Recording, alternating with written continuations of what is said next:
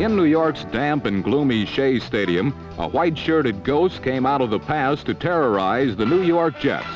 The Miami Dolphins of 1972 and 73 returned in their World Championship form to overwhelm the Jets 43 to nothing.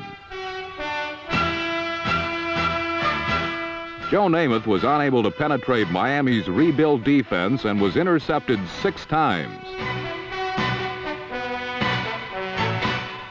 Due to injuries, the Dolphins' defensive unit has changed quite a bit since the championship years, with the famous no-names being replaced by some genuine no-names. Men like Charlie Babb, Randy Crowder, Don Reese, and Steve Towle, number 56, combined with veteran quarterback Bob Griese, number 12, to hand Joe Namath his worst defeat ever.